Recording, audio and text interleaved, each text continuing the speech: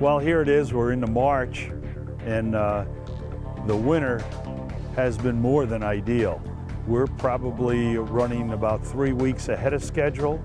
It'll be about three more weeks before all the, uh, let's say, the winter is settled, all the frost is out of the ground. We can start digging out the uh, the dirt track, and uh, we're looking at being ready by uh, sometime in July.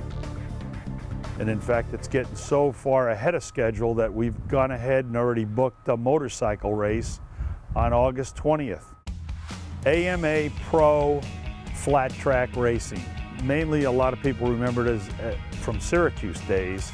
Uh, they were mostly Harley Davidsons. And the big reason we're doing uh, the flat track racing on a dirt track because we're going to have it ready. And next year is when it's really going to play out.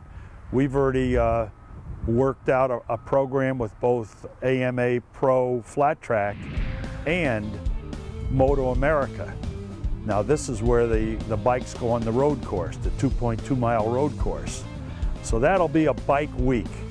We're probably the only track in the country that offers both the dirt track racing and the road course all on one piece of property. We're really looking forward to that.